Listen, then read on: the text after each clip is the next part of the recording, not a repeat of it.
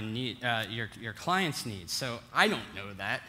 Um, but again, the idea is to sort of provide the system that, that can help sort of facilitate whatever it is that you need to make. So uh, the sort of one of the core parts of it, there's two parts. There's a builder and a viewer. Uh, and in, I'll go through the builder real quick just to sort of show you what, what it sort of does. Um, so again, we have this sort of these five discrete steps.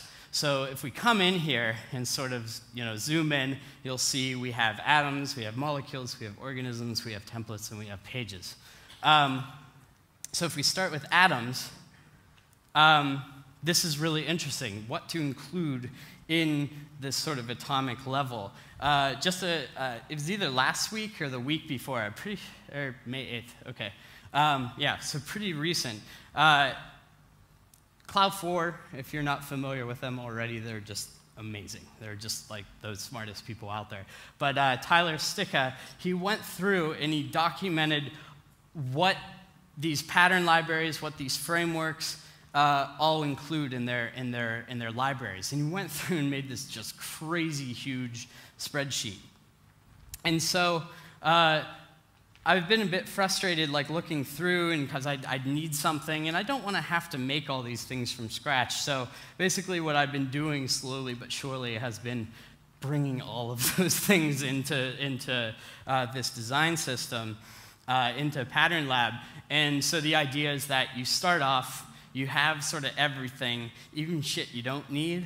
But that's all right. You could tuck it away for later uh, because you might not need it now, but like two months down the road, they're like, oh, we actually do need to include like the delete tag or, or something like that. So um, it's sort of better to be on the, on the comprehensive side rather than to be on the, on the short side of things.